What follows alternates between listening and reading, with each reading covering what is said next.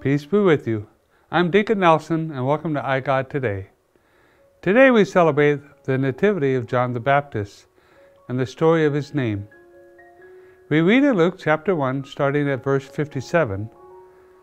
Let us set the scene nine months before this moment. Zacharias was in the temple in the Holy of Holies, praying when an angel of the Lord appeared and told him that his very old wife will have a child.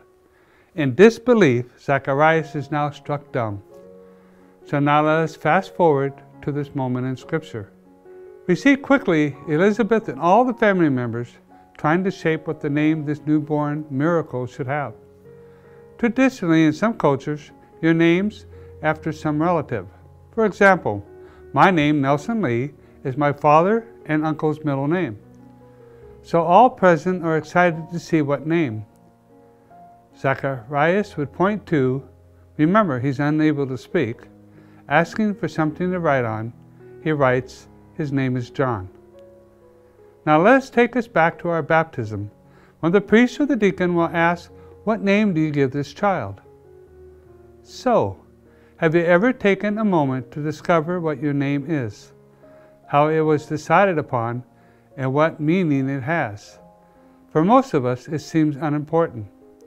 Yet your name is who you are in the world, and the world will identify you by what you do. When I say identify what you do, people will connect your name by your actions and attach to it, to the name whether it is good or bad.